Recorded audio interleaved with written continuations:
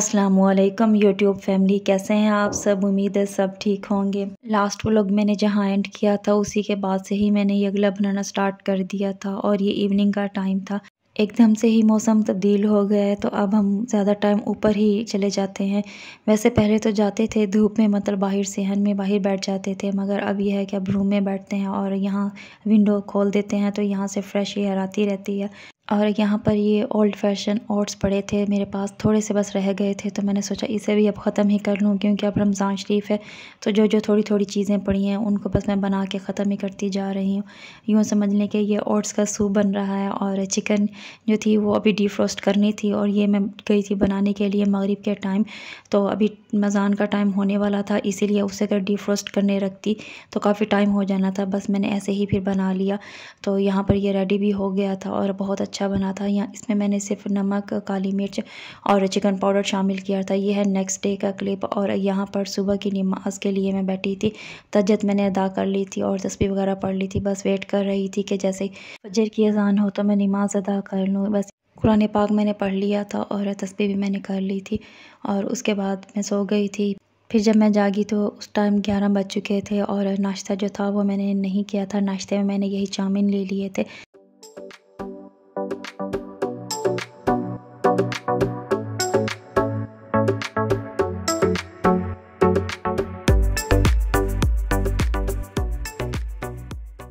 और अम्मी ने यहाँ पर स्ट्रॉबेरी और कुछ सब्ज़ी वगैरह ली थी, वो उन्हें निकाल रही थी, ये कचनार ली थी। बस इन्हें शॉपर से निकाल कर बाहर रख रही थी, क्योंकि ये ख़राब जल्दी हो जाते हैं और स्ट्रॉबेरीज़ भी ऐसे ही जल्दी ख़राब हो जाती हैं इसी वजह से।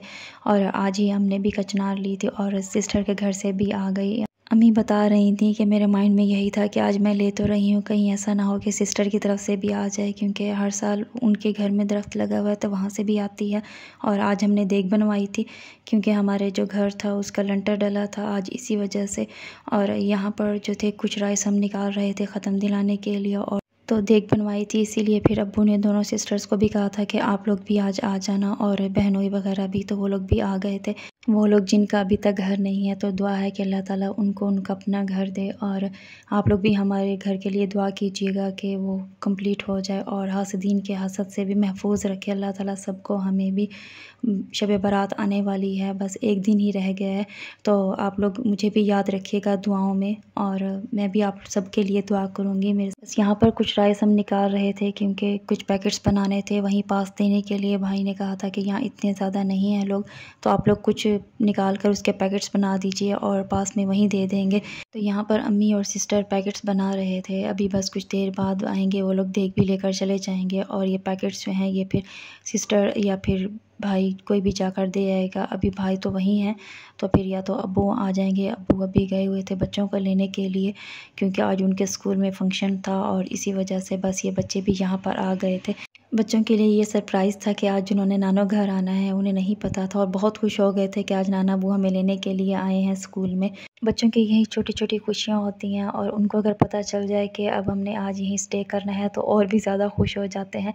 तो इस तरह से छोटी छोटी खुशियाँ उन्हें जब मिल जाती हैं तो बड़ा अच्छा लगता है। बस बच्चे यहाँ पर चेंज करने लगे थे क्योंकि स्कूल यूनिफॉर्म में थे तो इसी वजह से और मैं यहाँ बस डबल शॉपर कर रही थी।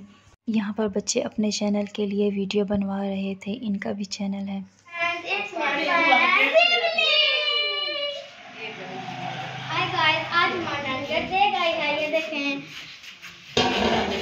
बच्चों के चैनल का नेम भी मैं बता देती हूँ। अरफा सिबलिंग्स के नाम से है और आप लोग इसे भी सब्सक्राइब ज़रूर कीजिएगा।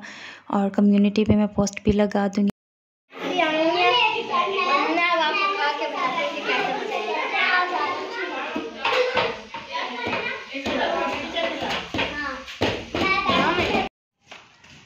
शजैन इधर खड़ना। इधर आओ ना इधर ये क्यों पहने आपने?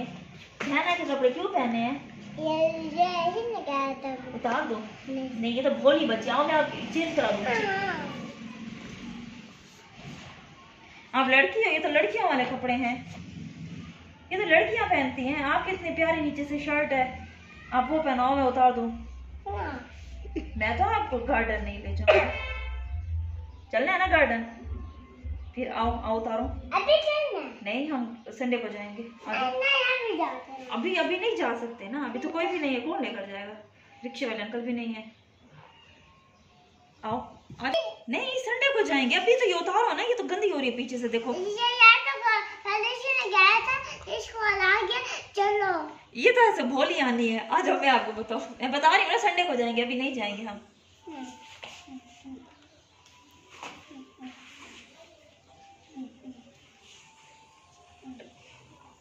ये क्यों बन के खड़े हो इधर आओ ना उतारो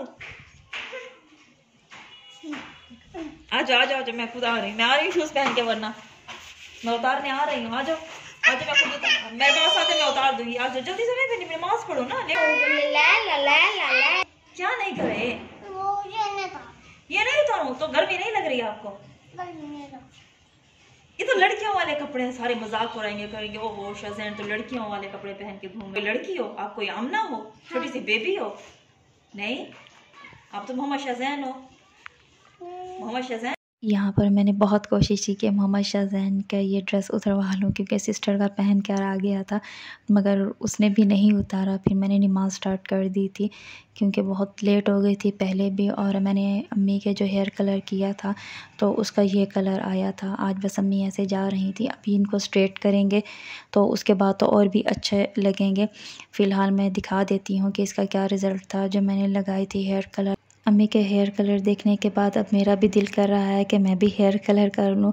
अभी तो नहीं इन फ्यूचर क्या पता मैं कर भी लूँ। और ये है नेक्स्ट डे का क्लिप और यहाँ पर आज मैंने साग वाला पराठा बनवाया था, अम्मी ने बनाया था। और उसके बाद अचानक मुझे याद आया कि मैंने तो व्लॉग बनाना था।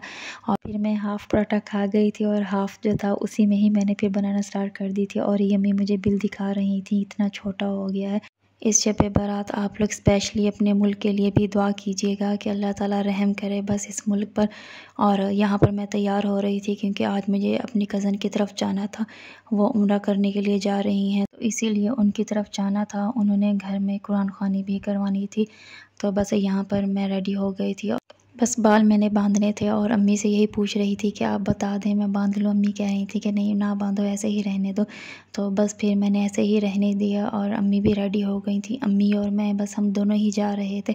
छोटी सिस्टर जो थी, उसकी तबीयत सही नहीं थी, इसलिए वो नहीं गई। यहाँ पर मैंने इस पारा पढ़ लिया था और फिर बस बैठे रहे जब दुआ हुई और उसके बाद फिर राइस वगैरह जो दिए थे और अचानक मुझे याद आया कि मैंने और भी ब्लॉग बनाना है क्योंकि अभी कुछ क्लिप्स बनाए थे, घर से आते वक्त बनाए थे। यहाँ पर सभी थे ममानी आंटी और सब लोग हम यहीं बैठकर खाना खा रहे थे। तो नीचे जो थी उसकी बेडशीट ख़राब ना हो, इसीलिए हमने एक यही पिलो कवर ले लिया क्योंकि आपको पता है जब घर में फ़ंक्शन हो तो कुछ भी नहीं मिलता और बस फिर वहाँ से हम लोग फ्री होकर जब घर आ गए थे तो रात में कुछ मीठा खाने का दिल था। घर में बस यही बिस्किट्स पड़े थे और टक तो मेरा फेवरेट बिस्किट है और सिस्टर के पास ये और बिस्किट भी पड़ा था। तो उसने कहा, ये खुला हुआ है, आप यही खा लो, अगर कुछ मीठा खाना है तो। हाफ़ उसने खा लिया था और बाकी जो थे उसने मुझे दे दिया था। और ये है नेक्स्ट डे का क्लिप आज भी साग वाला पराठा ही मैं खा रही हूँ क्योंकि साग जो था वो बचा हुआ था। तो अम्मी ने पूछा कि अंडा भी है और साथ में चने भी हैं तो तुम बता दो कि क्या खाना है? तो मैंने बोला कि नहीं, अगर साग है तो मुझे उसी का ही पराठा दे दें। तो बस यही मैंने साग वाला पराठा और साथ में चाय ले ली थी और सर्दियों में तो बहुत अच्छे लगते हैं कि इस तरह के पराठे बने हुए हों, साग वाला सहाजना या फिर आलू वाले पराठे इस तरह के और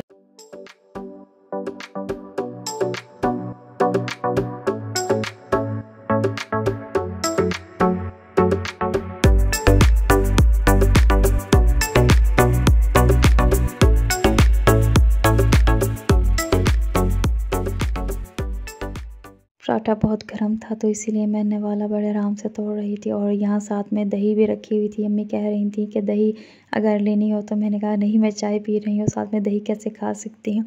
मैंने नाश्ता बस कर ही लिया था और फिर उसके बाद सिस्टर की कॉल आ गई थी और यहाँ पर आमना जो थी वो बात कर रही थी।